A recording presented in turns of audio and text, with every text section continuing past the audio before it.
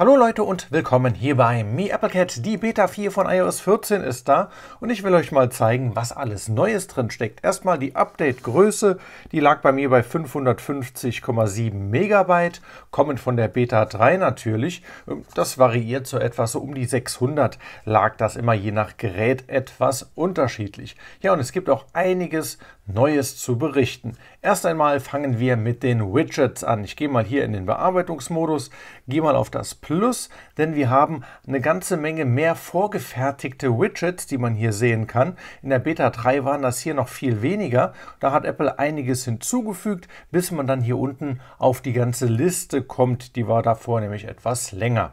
Ganz neu mit dabei ist zum Beispiel auch hier das Apple TV Widget. Wenn ich da mal drauf gehe, gibt es hier natürlich nochmal drei verschiedene Ansichten. Einmal das kleine Apple TV Widget, dann das mittlere und einmal das große mit der entsprechenden Vorschau, was man sich jetzt hier aussuchen kann. Und ja, bei mir ist das Wetter wieder erschienen. Das Wetter war in der Beta 3 bei mir ja komplett weg und das Icon war einfach nur noch schwarz. Nun ist es wieder da. Das war aber wohl ein Problem, was nicht jeder hatte, aber bei mir ist es eben aufgetreten. Außerdem sieht man dann hier nochmal, was alles so dazugekommen ist. Das News-Widget, hier das Apple TV-Widget bekommen wir vorgefertigt und so weiter. Also da wird noch eine ganze Menge dran gearbeitet.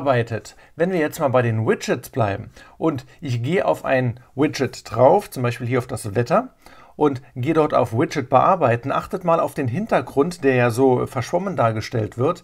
Der ist jetzt hier bläulich, denn das Wetter-Widget ist ja von der Grundfarbe her blau. Wenn ich jetzt mal auf ein anderes gehe, sagen wir hier auf das Musik-Widget und gehe dort, nee, das geht nicht, das kann man nicht bearbeiten, aber ich gehe mal hier auf das Uhren-Widget zum Beispiel, gehe auf Widget bearbeiten, wird der Hintergrund nicht mehr blau, sondern eher so, ja, orange hinten dargestellt. Also das ändert sich je nach Widget, das hier bearbeitet wird, dann äh, ja, sieht eben der Hintergrund anders aus. Hier kann man es nochmal ganz gut sehen, da wird es eben blau, bei dem anderen war es eben eine andere Farbe. Und da ist mir noch was aufgefallen, und zwar bei den Ordnern. Wenn ich jetzt, da müssen wir mal ganz nah rangehen, achtet mal hier auf den Ordner soziale Netze, den ich habe. Wenn ich den hier so rüberziehe, dann ändert sich da auch oder man sieht quasi das Hintergrundbild und die Farbe des Ordners ändert sich. Ich gehe mal noch näher ran.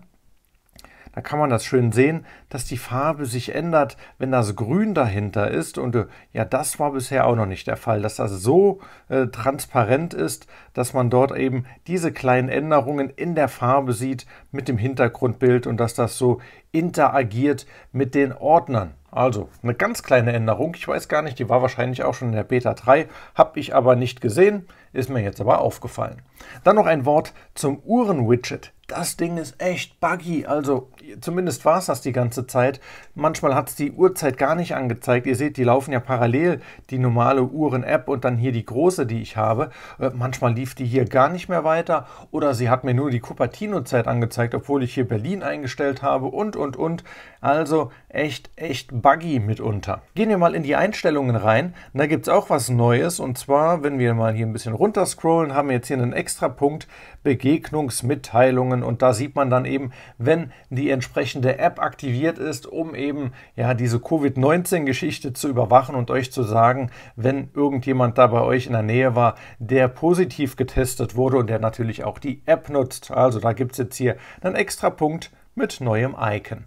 Und in der Wetter-App, wo habe ich sie? Da gibt es auch eine kleine Neuigkeit. Wenn wir die ganz normal mal öffnen, dann sehen wir jetzt, dass hier bei der Sonne-Wolken-Ansicht äh, die Sonne auf der rechten Seite rauskommt und nicht mehr auf der linken. Das haben sie geändert. Warum auch immer. Hier gibt es noch ein tolles neues Widget. Das ist nämlich das Widget für die Shortcuts oder die Apple Kurzbefehle. Kann man jetzt hier sich auch hinpacken. Ich zeige es euch mal kurz, wie das aussieht. Wir gehen nochmal hier oben auf das Plus und suchen uns dann hier unten mal die, äh, wo haben wir sie? Die Kurzbefehle raus. Und dann kann man da nochmal wählen, entweder hier so eine ganz kleine Ansicht, da ist dann nur ein Kurzbefehl, der angezeigt wird, oder eben diese mittlere, die ich habe, da haben wir vier Kurzbefehle, oder ihr könnt auch das große holen, da ist dann eine ganze Menge mit dabei. Und die Kurzbefehle, die könnt ihr ja über die eigene App, wenn ihr das noch nicht kennt, ganz normal hier erstellen oder euch runterladen und dann sehr sinnvolle und praktische Geschichten mitunter ausführen. Und das kann man jetzt eben hier direkt vom Homescreen machen. Bisher musste man ja immer rüber swipen und dann hat man hier seine Kurzbefehle in der Widget-Ansicht gefunden und hat man jetzt hier einfach direkt auf dem Homescreen, kann draufdrücken und das Ganze funktioniert. Das finde ich gut. Man sieht, da steckt noch eine Menge Potenzial drin in diesen ganzen Widget-Geschichten. Und das waren so die offensichtlichen Änderungen, die mir aufgefallen sind. Wir schauen natürlich nochmal in den Geekbench. Habe ich natürlich durchlaufen lassen. Geekbench 4 und Geekbench 5. Das sind im Geekbench 4 die Ergebnisse 3563 und 5978. Und im Vergleich sehen wir da eine positive Entwicklung. Wir haben nämlich ganz ordentlich wieder zugelegt.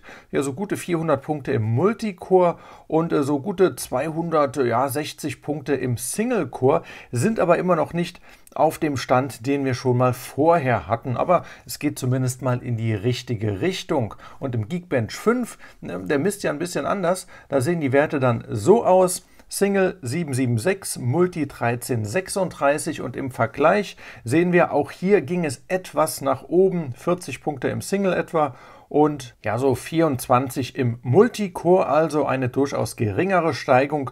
Und wir sehen auch hier, da hatten wir hier am 7. Juli schon bessere Ergebnisse, aber naja, es geht wieder langsam nach oben. Ansonsten performancemäßig läuft es eigentlich ganz gut. Ich hatte jetzt in der Beta 3, wo ich das genutzt habe, echt mal so ab und an kleine Ruckler gehabt oder dass ich da ähm, man hat gemerkt, da hat im Hintergrund irgendwas noch nicht so 100% funktioniert. Das Teil wird auch äh, mitunter relativ warm. Die Akkulaufzeit, die ist nicht besonders gut, also ich würde es echt nicht auf mein Hauptgerät aufspielen. Man merkt eben noch deutlich, dass es eine Beta-Version ist, aber alles in allem läuft es eigentlich ganz gut. App-Crashes habe ich so gut wie gar nicht gehabt, aber eben diese leichten Performance-Einbrüche und vor allem Akkulaufzeit, die ist noch nicht so, wie es sein soll. Von daher, ähm, Apple hat ja noch eine Weile Zeit, bis das rauskommt. Wir wir bleiben dran. Ich halte euch auf dem Laufenden. Bis zum nächsten Mal. Macht's gut.